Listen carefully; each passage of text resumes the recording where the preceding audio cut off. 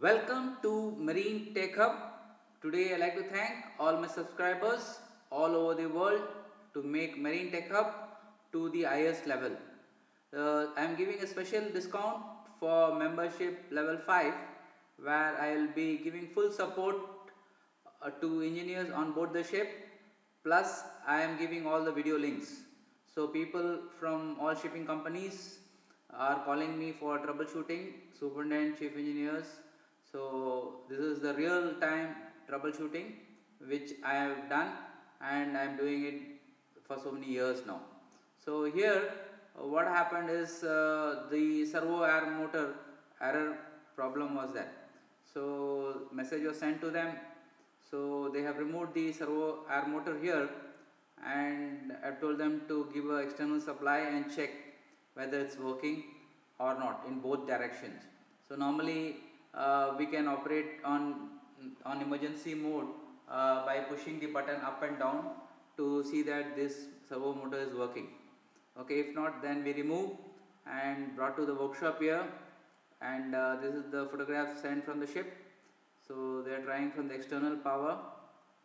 So when you give external power it should move on both direction.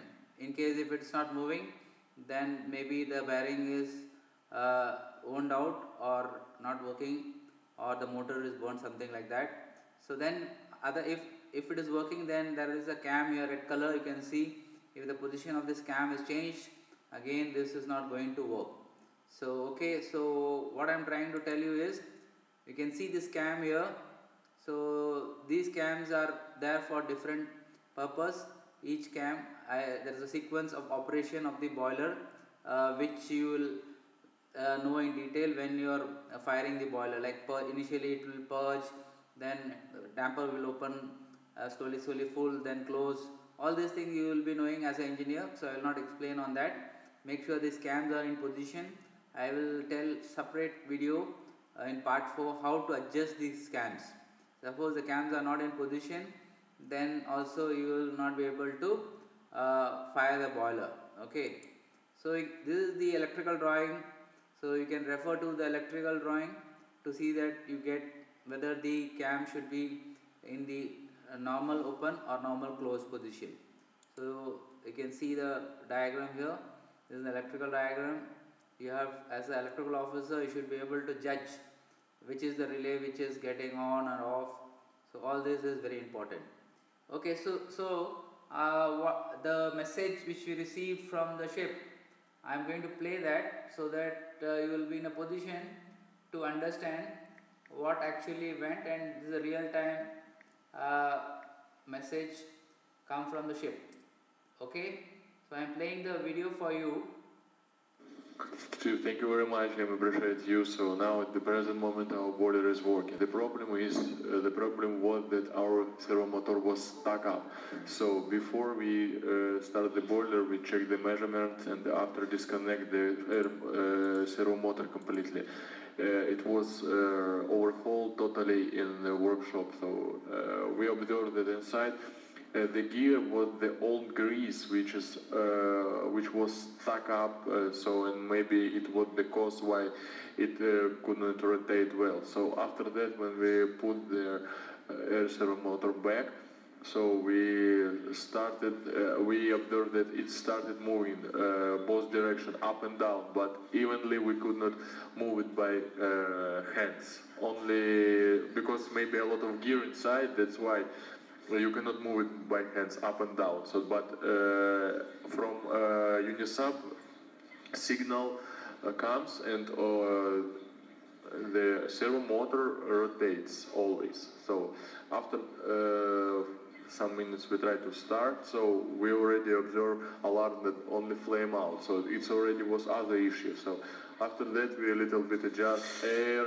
So and um, uh, also we disconnect the uh, air motor, servo motor, and try to rotate the the valve, the valve which is located uh, inside the uh, burner, which is responsible for fuel. Because when the air servo motor opening damper for purging, so the fuel valve should be closed. But we had when we installed, we had another problem. the valve of fuel was also open, and when the boiler was going to to starting position, so the fuel valves uh, going to close. We observed that uh, on the gauge. So and that's why we a little bit uh, adjust the fuel valve. So I mean, uh, it, it, this is the shaft through the air motor, uh, which uh, comes to burner. So now the boiler is running. Now the burn the, the boiler is running. Yes, sometimes you need to a little bit by hand adjust air damper, but it's already other issue. So it's already other issue. You can uh, disconnect, link, but now we have state anchorage in, Mexico and our boiler is running. This is the success. So thank you very much for your help. So you really help us with your idea. So thank you, thank you.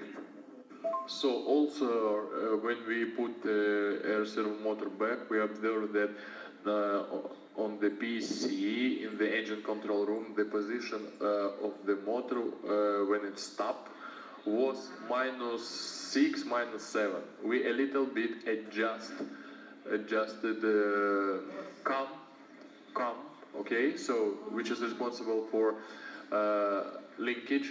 Uh, I mean, see, uh, limit switch it there. So and it, it was help. Now it's almost zero, sometimes minus two.